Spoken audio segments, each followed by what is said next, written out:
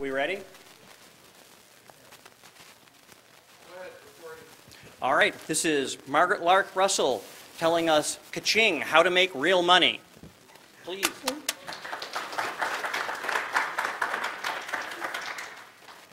Thank you, thank you. And uh, before I start, I want to second John by saying the Hackers for Charity table has got some absolutely awesome new stuff that just came in. Please, even if you've already shopped there, shop there again. It's a great cause, and the stuff is just amazing. It'll blow people away when you bring it home.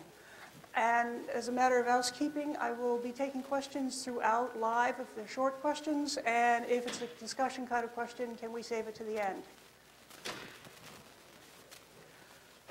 Okay, so it's been a great con, and I've heard just tons and tons and tons of fantastic ideas and things that are going to be eventually great products or are great products.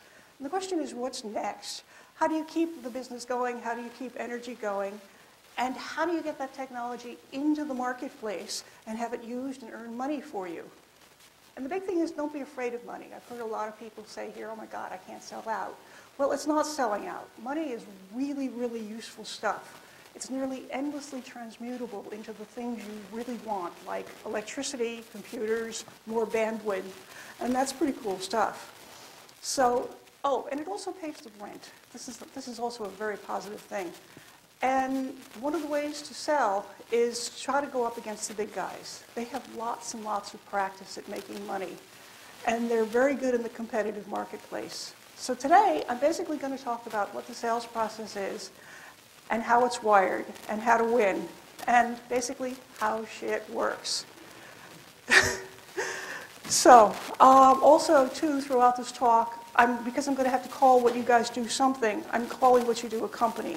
Partly because I'm calling it a company because I want you to think of it in terms of a business and partly because I don't know what else to say. You and your friends and associates, your startup, your cabal, whatever. So your company. So forgive me for that if it doesn't quite ring true. Also, I'm going to have to limit myself to just talking about one portion of the sales cycle. There's a lot to selling.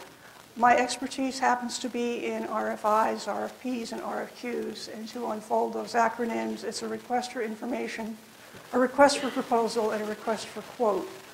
Um, a lot of times when small companies are cultivating leads, uh, particular vendors have enormous influence on the RFP and its content and its focus. And the potential buyer, um, in discussing with the large companies, um, they need to describe the problem and they need to describe the technical requirements to solve it. And they actually might uh, submit portions of the RFP. The, the, the seller might submission, submit portions of the RFP that you might eventually wind up having to answer. And that can be really kind of weird because they basically have more clout than you do. Uh, they also have huge tons of personnel. They have hundreds and hundreds of sales reps. They have sales engineers. They have sales supports. They have vast, enormous back offices, tons of practice in doing this stuff.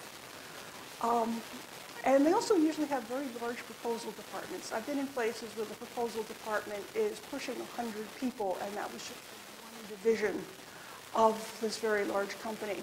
I've also been in places where the proposal department is five or six people, backed up with about 100 people that are on call. So there's tons and tons and tons of just, just enormous competition out there, but there is a way around it. And they have it down cold, you have to learn it. And the thing is, it can be learned. It's a skill, it's a craft, it's just another skill set. If you can code, you can probably write a successful proposal because it's very, very learnable. And the thing is, I can't tell you how to make doing a proposal be less onerous, less horrible, less sucky. And I've heard a lot of people say, oh God, I hate doing proposals. People here, possibly in the audience, saying because they're just dreadful to do. Um, okay, sorry, we're having a bit of a sound problem. Okay. Okay.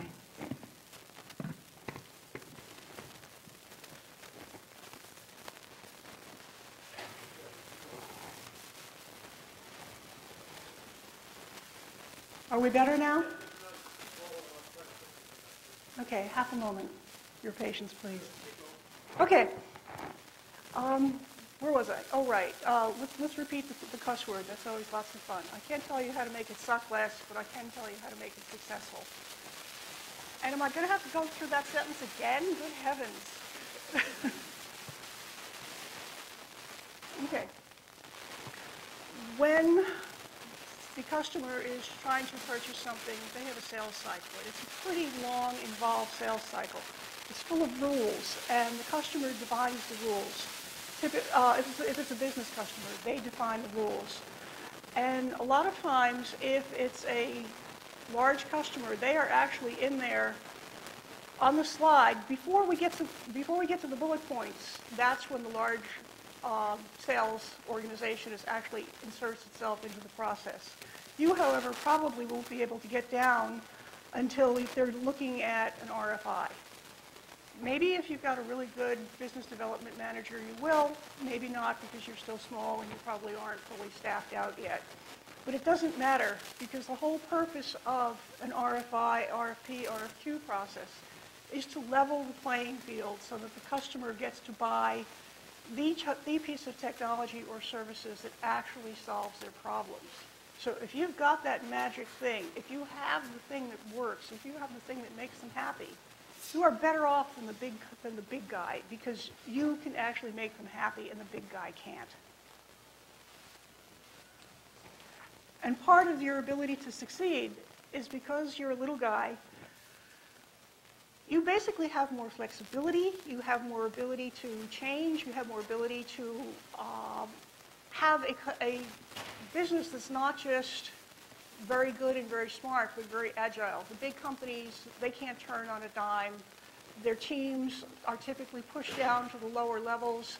As a small company, you can have the president of the company, you can have the CTO, the CIO on your proposal team and make decisions that stick and make, make uh, Check, check. decisions and responses that actually talk about what your company is, what it does, and how it can help the customer. And you don't have to have it vetted through 30 or 40 levels of management. You can just say it because you're the guy. You're the, you're the one responsible. And I think that's really incredible.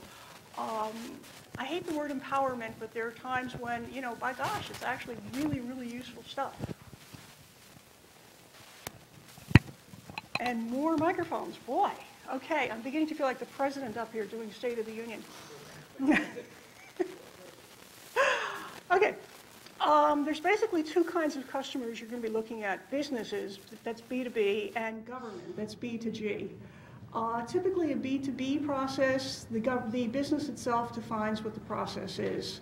And in a B2G response, the government has all sets of rules and regulations, and you have to follow them. In whatever case you're dealing with, whoever sets the rules, as the responder, these are the rules. You can't uh, do uh, Kobayashi Maru. You've got to absolutely stick to what's happening. You can't change it.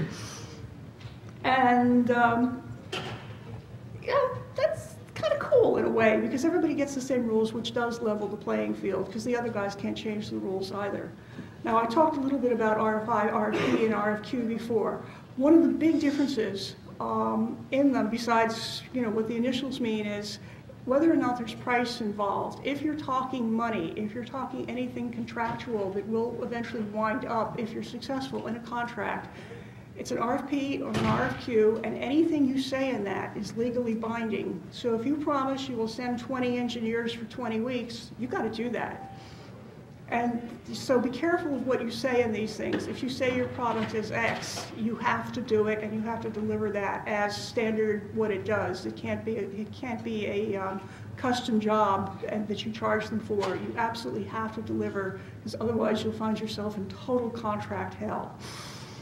Um, and one of the other things is there's an NDA, non-disclosure agreement. Almost any company will give you an NDA before you can receive their RFI, RFP, or RFQ. Let's call it an RFX from now on, if that's cool by you guys. Um, they want to give you an NDA that you have to sign because they want to protect usually what they're in trouble with and what they need to solve because that for them is a business issue that they want to keep kind of close And that's cool, and you can sign it and get in on the process. But you probably want an NDA too before you respond. The reason you want an NDA that covers you, or a mutual NDA, is because if you're telling about what your product is, what your process is, what your service is going to be, and you're giving away any of your business secrets or your special sauce, or you're telling, uh, you know, you have to include uh, uh, the resumes of some of your personnel, you might want to keep some of this stuff as part of your corporate intellectual property and keep it protected. So this will allow you to protect yourself and keep your business alive. Now, a lot of governments, they don't allow an NDA they, because they have to publish uh, what's happening. They have, part of the uh, purchase cycle for government purchases is they have to make the process transparent to the public. But they will in many cases allow redaction, which is basically anything you write, you can then give them a purely clean and clear copy that they can read and review, and also a copy that's all blacked out. And that is what they publish online if you have that agreement with them. And that's a pretty cool tool too, to protect your property. Okay, now, when you're finally, you've gotten the RFI and you've decided um, this is the thing I'm going to look at, what you need to do is not immediately jump into it. You need to read it very, very carefully and think about it. And while you're thinking about it and working on it, you need to look at the entire process, look at the deadline, look at what they're asking for, look at the schedule, and ask if it's possible for you to do this. And the big thing is you have to research the customer completely and thoroughly, whether it's a business or a government. You also have to research the competition. One of the things you're looking for when you're doing this research is, is if it's a business, and particularly if it's a publicly held business, does the competition and does the customer have interlocking directorates? In other words, if there's people on the board of both companies, your chances of actually winning have just kind of plummeted a little bit because they probably have a preferred vendor. This is really a drag, but it's one of the things of business. And by researching your customer, by researching the customer and researching the competition, you learn this stuff and you learn how to work with it. Because if you have the data, you can figure out what to do, or you can figure out, you know, I think I'm not going to put my energy here because this is probably not a really great thing to do. And that's okay, because backing off from something that's not going to work for you is really very smart a lot of the time, because there's always more uh, things that you can do later. There's always, there's always another possible sale coming down the line. And one of the things I want you to really look for too when you're reading and reread the RFP, this is insanely boring, I admit it up front. It's like perfect to put yourself to sleep with, but you can't sleep, really, because this is important. You're looking to make money, you're looking to keep your company alive. You want to find out what problems they're trying to solve because you need to match up what your capabilities are with their problems and can you genuinely solve it. This kind of seems like a no-brainer. You'd be surprised at the number of huge businesses that just sort of say, oh, we're a really big guy. We can solve all your problems. No problem. We're cool. And then they can't, except they claim they can and they wave their hands and they say magic things and they take somebody out to play golf. You're not about to do that. And uh, gets weird out there. Typical items in an RFP, um, when you get the document in, there's going to be things that you're going to have to provide as part of the answer. Um, and they are all determined in the RFP. You have to answer everything. You have to answer everything completely. Uh, and you might be kind of unfamiliar with some of the chunks that are in it. These are typical chunks. One of the most important things is the letter of transmittal, which seems kind of like, huh, what the heck is that what's its purpose? Uh, this basically says that my company is responding to your RFP. The person who is signing this letter is empowered to sign this letter this, the person who's signing it is committing this company, our company, to what we are saying in this, that we understand that this is a contract or will be added to a contract, and we are perfectly willing to get into this and do it. And um, that's just, it's legalese. A lot of people turn it into a sales letter. Please don't do that. Uh, start working on your executive overview immediately. Um, and when you do that, because you're developing it over time, also start working on your costing immediately because you are constantly, chronically, until the moment you ship this sucker, you are in a go, no-go situation.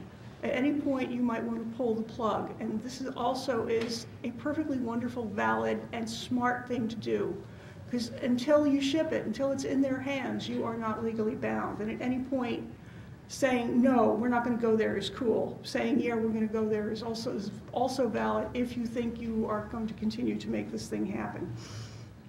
And uh, one of the problems a smaller company, a newer company is going to have is almost all the time they ask for, what's your company history and what is your, um, what is your plan in case you go out of business? And they look at the big guys, and the big guys have been in business 20, 30, 40, 100 years, and they have a continuance plan for their products and services. You have to think about that. What are you going to do? This is not your exit strategy. This is how are you going to continue to support customers that you've got, because this is critical to getting business. So if you haven't already thought about that, please think about it, brainstorm, sit down and figure it out, because it's really critical to getting business into the house.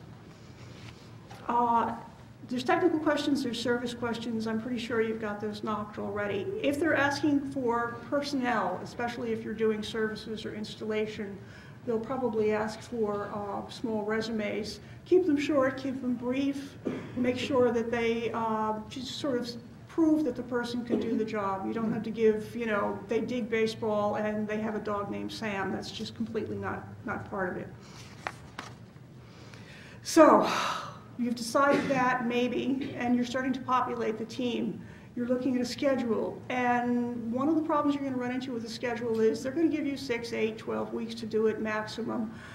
And you're going to look at everything you need to do and say, oh my God, we can't do this. You know, I've just ran it through Microsoft Project, and it's not going to work because everything that is typically a dependent project, you have to start before actually all the dependencies are met simply because you want to make this deadline. So you have to stack things up enormously and start them even without having complete data sets. And just do it. It's a little scary, but what the heck. And keep going and coordinate and communicate and also keep checking on your due date because this is, this is the holy grail. Blowing the due date means everything you've done, forget it.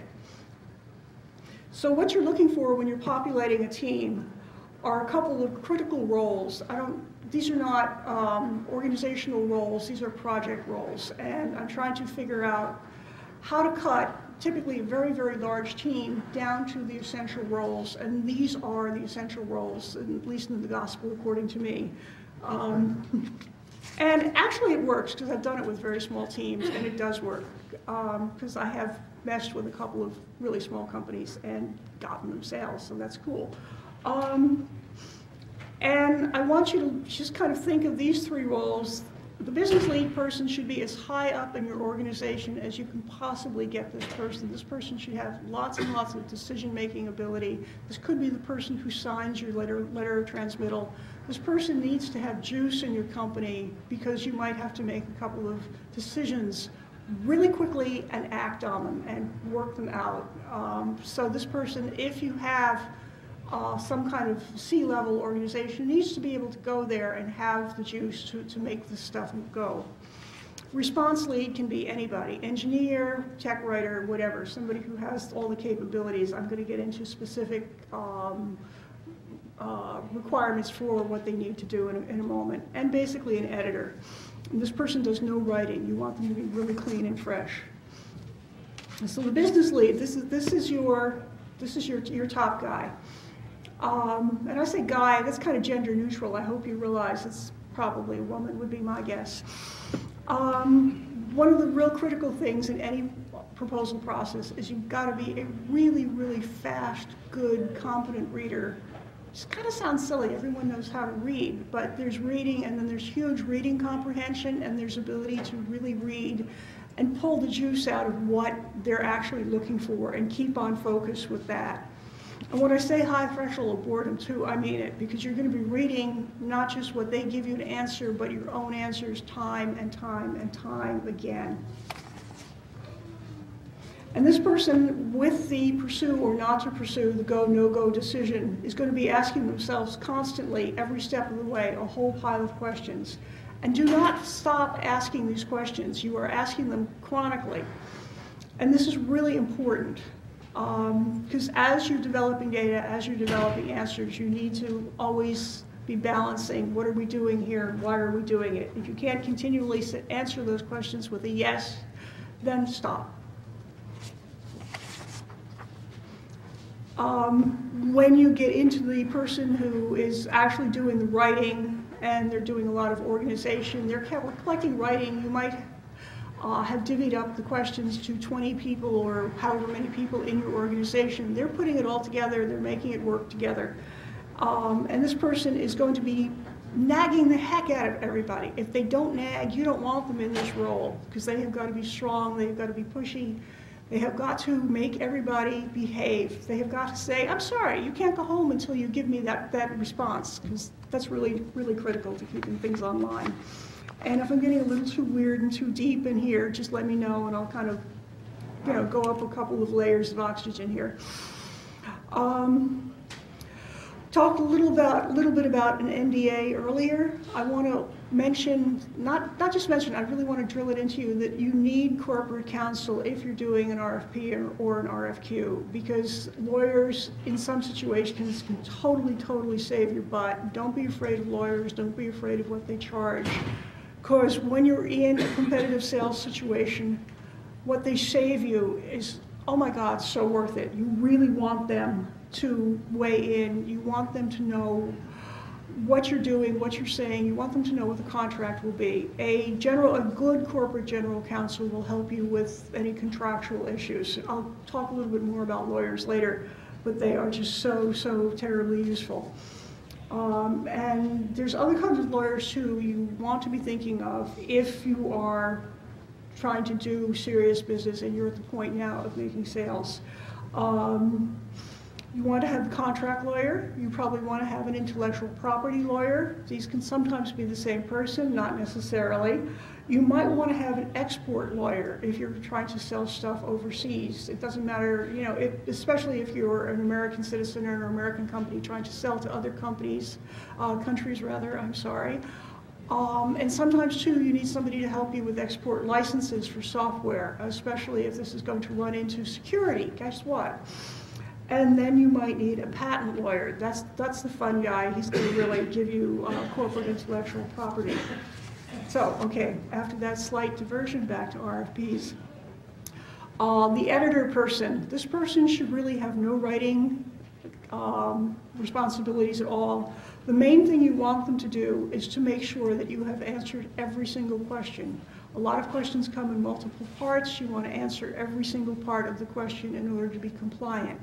One of the ways they kick you out is if you are non-compliant. You can miss a tiny, tiny little thing, and if they're looking to kick you out, they will, and you will have no recourse. A lot of cases you can um, say, hey, wait a minute, why were we kicked out? And if they point out a discrepancy, you're hosed. You, you really have no way to come back.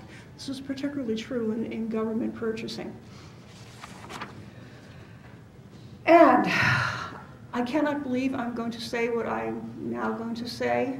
Um, I was an English major a long time ago. The last edit is going to be for grammar and spelling, and I'm now going to be thrown out of the, the uh, secret cadre of English majors. Um, it's much more important to have a compliance review to answer every question and sub-question. Also, if you're going to have to demonstrate the product, which is often part of the requirement for making a sale, talk to your demo team, talk to, talk to find out what they're demoing, and make sure what you're saying in the response and what you're showing in the demo completely jive and support each other and really help make the sales case. One of the other things you're going to be working on and that the editor is going to be checking for is that you are responding in a, in a way that's competitive. Are you showing off your features? Are you making your, your product and services look really good? And if you know who the competition is, which frequently you can find out, if you know what they're selling and you know what their product is probably going to be, you can actually sneak in some things that will help you basically fend them off a little bit. And I'll show you about that in, in a few minutes. And after you've got all that, now you can do the grammar and spelling and make it really good. Because one of the things is, if you have poor grammar, poor spelling, poor layout, you're not going to look professional. And at this point, you are professional. You are playing with the big boys. So you really, really, really need to go for that. But only after you've got everything else. Okay. And I've talked a little bit about answering all possible points. You have to get them. They almost all responses are graded by some poor guy who was sitting with a pile of these suckers on his desk and he's reading them even if they're 100 pages or 200 pages each and he's going through the scorecard and he's checking boxes. Be his friend, make his life easy. Use a good typeface and make it easy to find each answer because you just don't want them to hate you because you're making it hard for them. Just like, why would they hate me? Well, because they're at it for two weeks and they're bored silly and you just, you need more people on your team. And part of the thing too is you really want them to know constantly in all of your answers that you are paying attention to their needs, you are paying attention to what they're trying to solve, and that you are solving it in every single answer you give.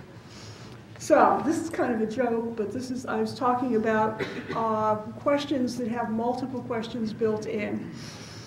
And so my belief is that you start an answer with the easiest possible scoring. You can say fully compliant, you can say meets requirements, you can say yes, we do that.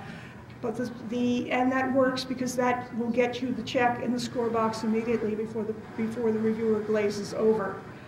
There's some disagreement about this technique. A lot of people want to front load the response with two or three pages of marketing ease. I really, really think that that's a bad idea because you really want the check in the checkbox more than anything else. Um, the drawback to it, though, is you have to be really consistent. You're basically, every answer you can write the exact same, you know, fully compliant or meets requirement or whatever. You do it because you're setting up yes, yes, yes in the reviewer.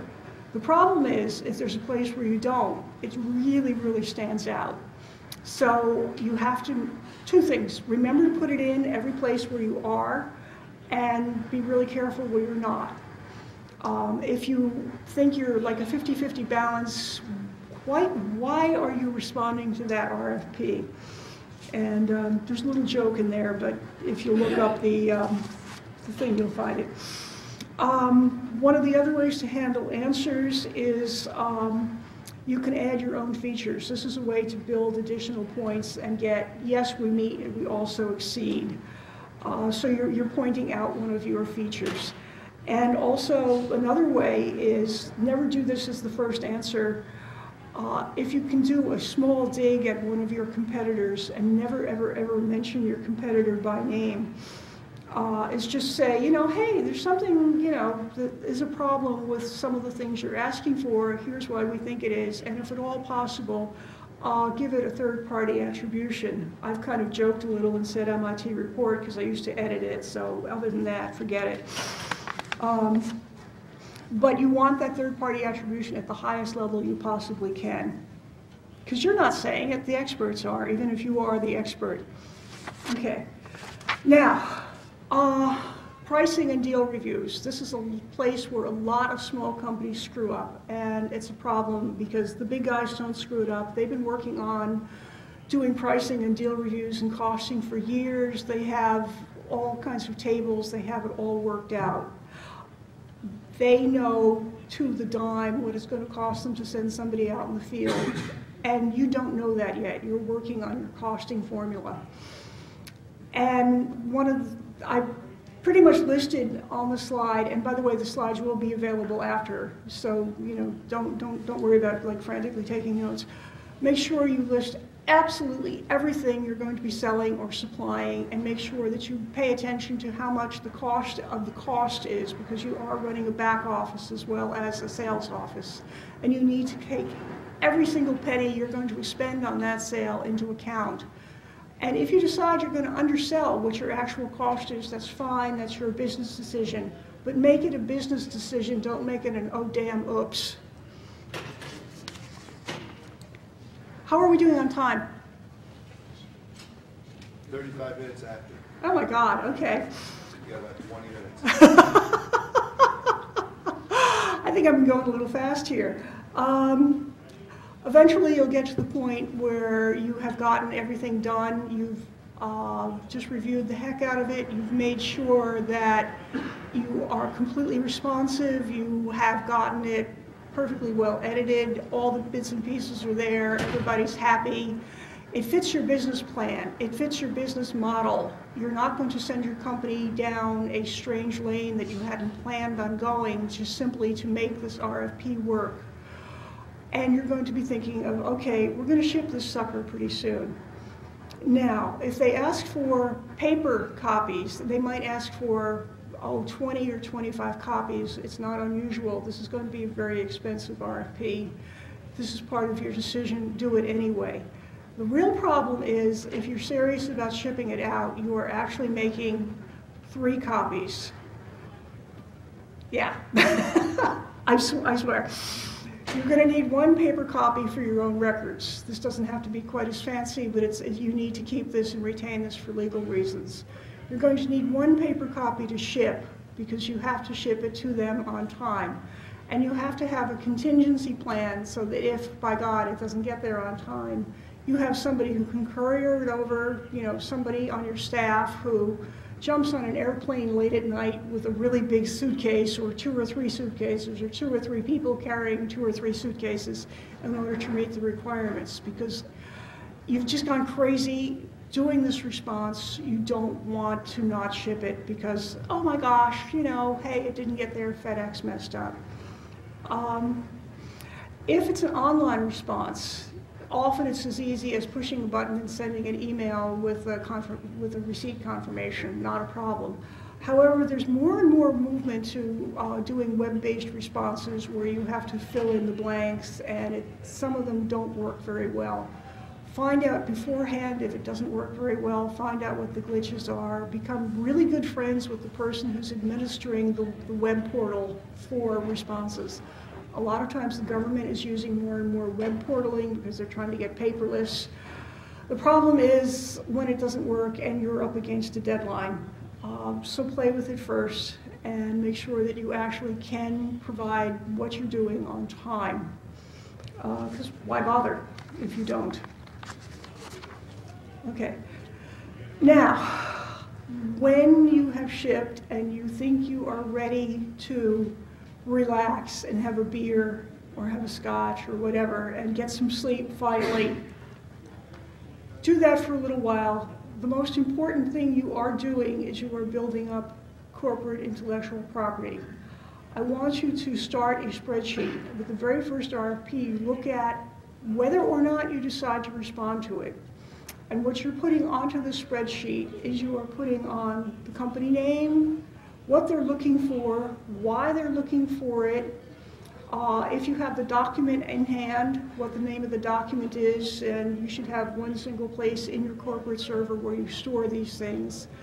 You should include in this what they're looking for and how you match it or don't match it. This is really important. I, you know, kind of eyes everybody. I know by now you're probably glazed over. You want to know Am I responding? Am I not responding? Why am I not? Does my product set match what they're looking for? Does my product set not? Are they looking for services I don't currently have? It's okay if you don't currently have this stuff, but you need to note it and you need to take as many notes as possible. If it's a response that you do do or get halfway through, continue to take all this information. What's going to happen after a while is you're going to start winning a couple of these things. You need to put them in and say, I won this one. Otherwise, you need to know who won it. You can usually find this stuff out. If it's a government thing, you can find it through government portals. If it's a business thing, very often they do a press release. It's really cool. You just Google it and find it. You want this information so that you start building up serious, serious database of your field, your competition, your potential customers, what your product is and how it stacks up. And these, these pieces of information are really valuable because when you're trying to figure out how am I going to further develop my product, you look at the spreadsheet and you think, wow, you know, there were 40 RFPs I could have responded to, but I really could only respond to three because my product or service is insufficient for what's the demand in the market. And this can help guide how you develop your product or your services.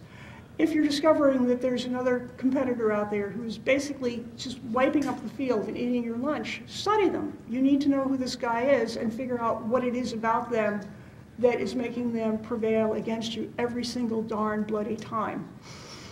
And this is gold. You don't, you don't ever want to lose this. You want to keep this in your most secure place.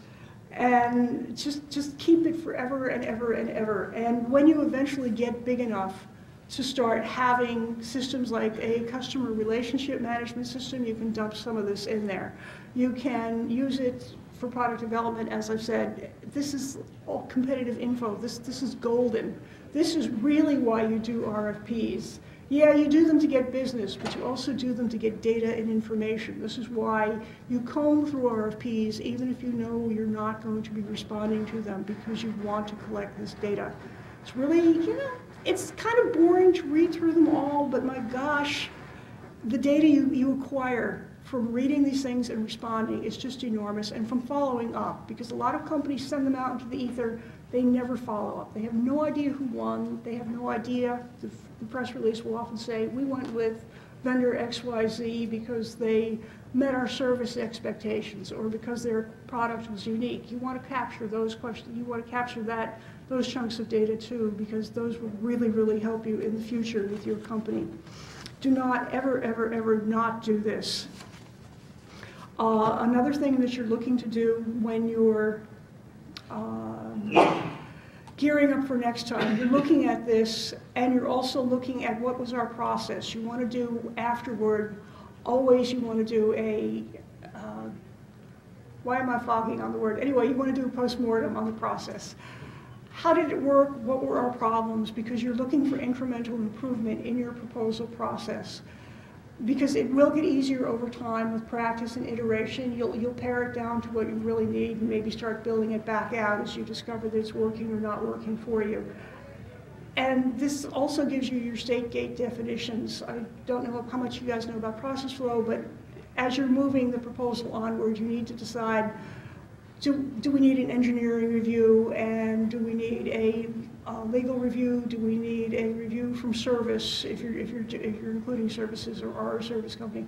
So that everything gets reviewed by the proper people and they sign off on it before you move it along. And you do need to get all those signs, sign-offs and approvals before you ship.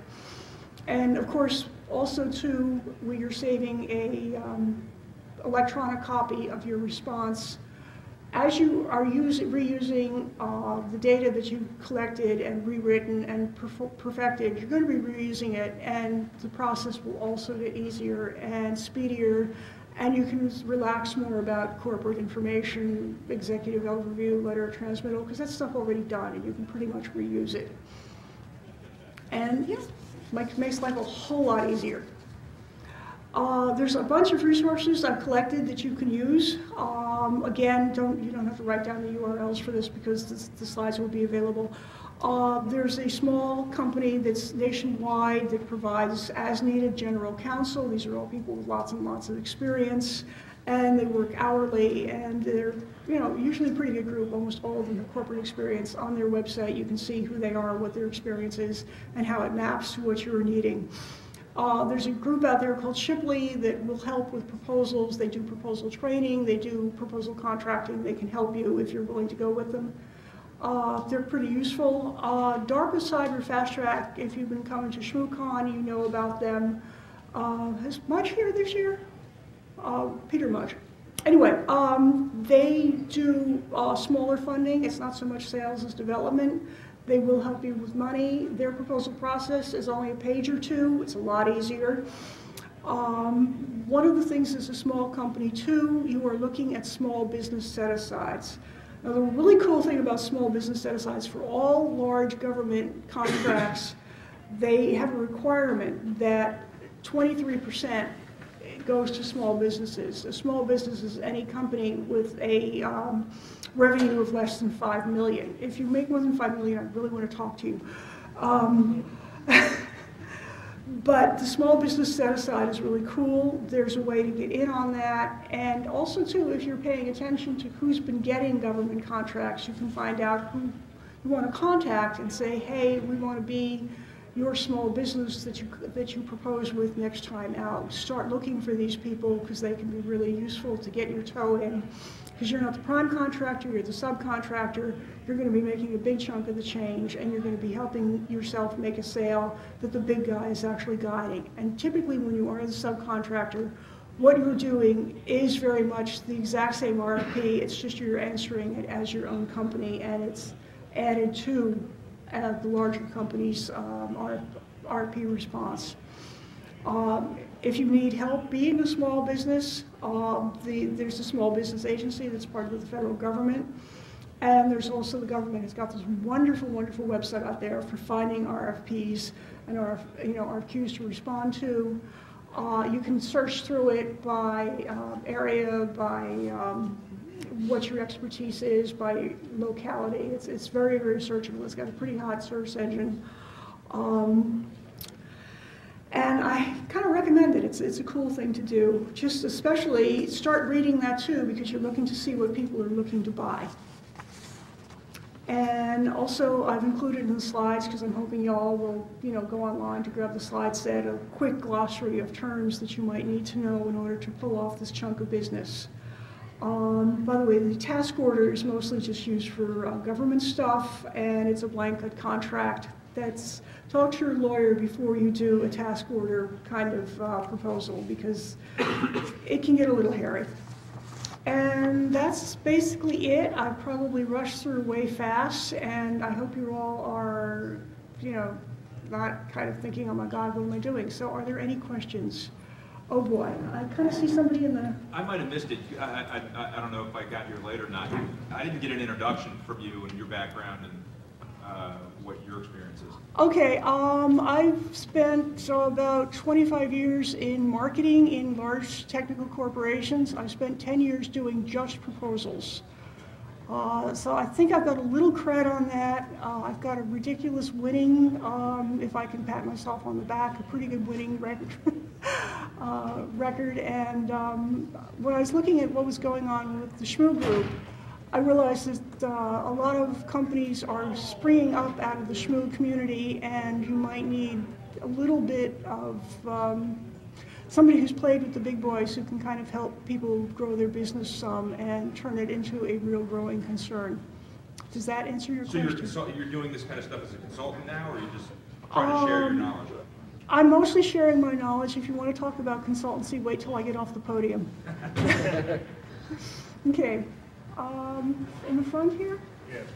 Um, I've been on the FBO sites and I've been looking at some of the things. A lot of the information is very terse.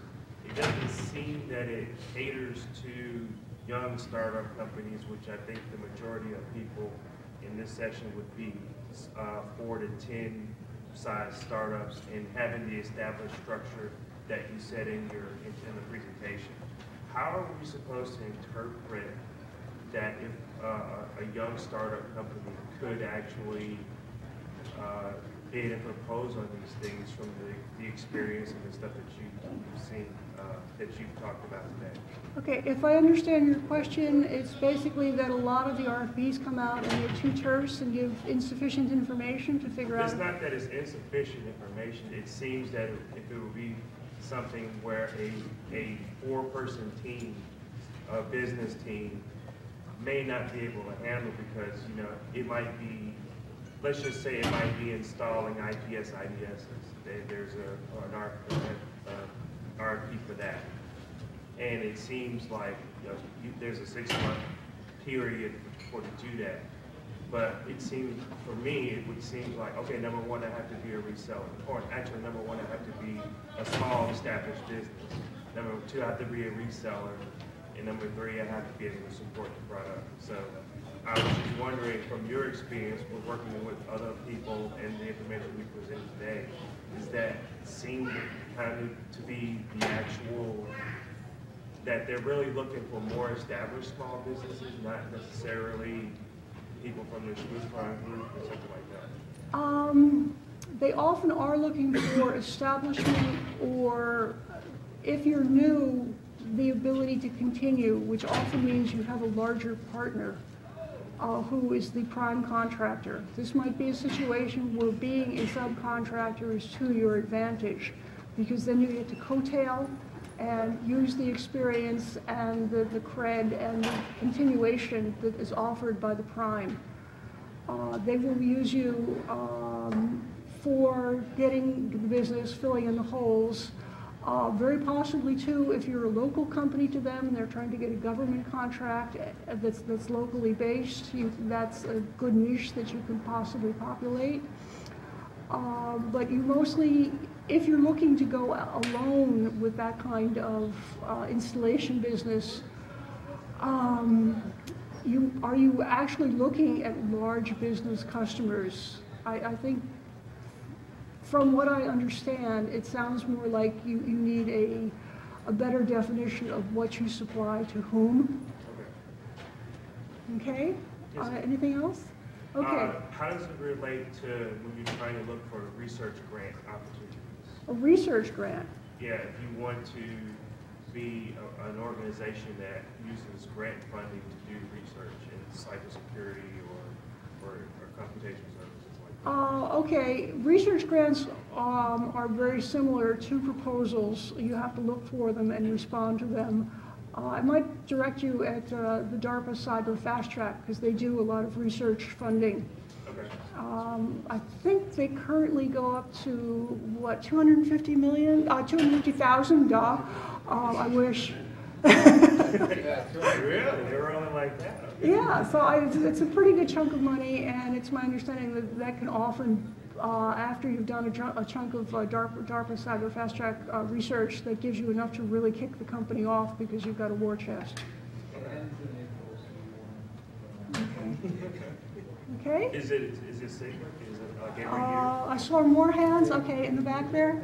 So you, during the request phase, this is just for like the government side, you said that the playing field's kind of level when it comes to companies trying to sell and uh, get those RFPs in. Well, there's a couple of ways to sidestep that.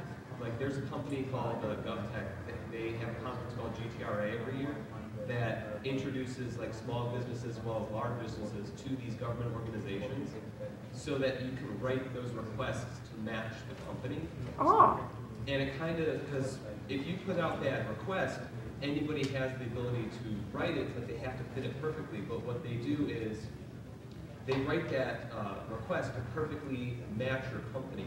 Because if they really love your product, because that playing field may be level, but anybody can put up that open bid, and they always go to that lowest bidder, which kind of throw things. okay, I wasn't familiar with that. This is GovTech? It's called GovTech, yeah, that's the company, but GTRA is what you want to go to, and that introduces any kind of company, big, large, and small companies, to the government organizations. Okay, E EPRA, GTRA.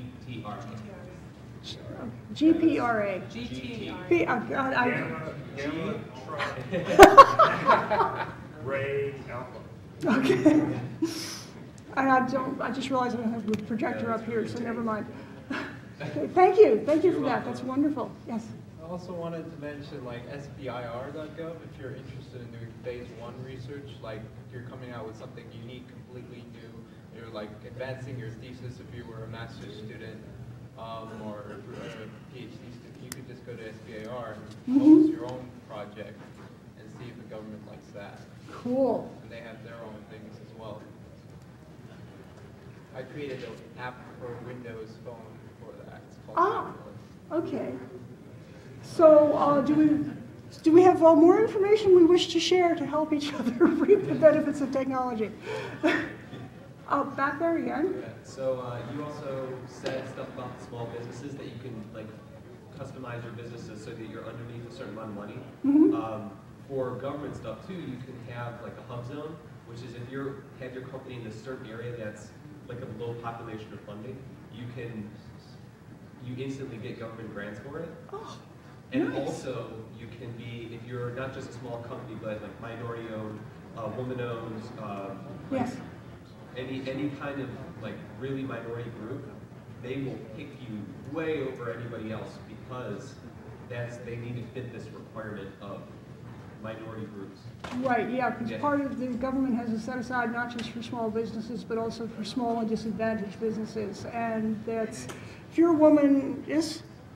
I was just going to say that one of the reasons to go for a, a, a proposal that you don't win is if you are a minority-owned or a women-owned, and the, the com- the competitors who see you may, may well see that you've been there a couple of times, even though you didn't make it, you may become a subcontractor target for them. So there are strategic times to apply, to, to, to get in there and fail, but to become a, a known player, and, and that can also work. Um, I'm seeing into the light, do we have more? Go into the light, okay, yes. Uh, Do you have any resources or advice for somebody trying to start a a request program? Or it was just sort of like, just Uh, didn't really go through formal. Run that one by me again? I'm on the other side where I have a mid-sized company that, uh, we don't diligence, you know. so formally, it's- Okay, you're, you're, a- you're with a buyer company or a seller company? You're with a buyer company. Um, well, you know, you probably have a purchasing department, you probably have, you don't have a purchase. sort of need one, and it's a struggle, because we're just, sort of, we're always too small to do this right. Okay, I would really recommend that before you make any purchases, unless of course you're buying like pencils, uh, to really come up with what your requirements are, because otherwise you're gonna be blowing a lot of money on stuff that doesn't fulfill your needs. Done that a lot over the last ten years. That's kind of the thing, but we're starting to do that now, but it's cumbersome, we've never really done it before, we don't have institutions. Yeah, the problem with all of these procedures are they seem cumbersome, and the only thing that's worse is not doing them and discovering that you've just done something you really didn't want to do because you didn't think hard enough about it. Uh, This is just if you're selling, if you're buying, you know, really put thought into it. You know, pretend you're buying a car and spending your own money. Um, So is there anybody else out in there? And did I, did I answer, or was I like too mean to you? I'm sorry. No, no, I'm just, I wish there was something more like a book I could read about or something. You know, there probably is. Things that you should put in your RFP that I don't think of until six months into the engagement already, you know, like. Yeah. Uh, I mean, you know, there, there are also, you know, some, some teaching books on, on how to write RFPs, which is a whole different art. Because some companies sit down and put together a committee and write an RFP, uh, you know, really thinking well about what the requirements are going to be. And then there's the horrible sneaky thing that I admit, oh my God, what a horrible person I have done, which is write RFPs as the selling company that the salesman gives to the purchasing company that gets incorporated in the RFP that's eventually released. Some of my coworkers have done that and I don't like it. You know, it's not what we need, it's, you know, someone else's checklist. Yeah, well, you know, it, it helps um, slightly skew the sales process, but if indeed it does ask questions and uh, help formulate what the problem really is, it is, it is a useful thing. It's just you have to be, um, you, you don't have to take the whole thing, go through it carefully, and just use the questions that are genuinely useful and speak to you. I personally don't like it, but it is, it's one of the sales techniques that's in use out there. What can I say? Okay, anybody else out there? God. I think we're done for now. Thank you. Oh, hold on, hold on. I just hold on. wanted to uh, ask, where were you gonna post your slides and what was your contact information? Because I didn't see it on the slide. Okay, um, there is, uh, I think it, what, goes onto the Shmoo website after the, after the show? 'Cause I have to, like, give them my little USB and prove that I was really here. Um, I think I'm really here. Uh, oh, right, I'm, there's pictures, it is real. Okay, Yeah, like, I didn't see email or address on the slide. okay, I, I, allow? I can take care of that. Okay. I, I do have email. I, I am that modern, yes. All right, thank you. Okay, thank you all so very, very much. Do I, do I have a thank you slide?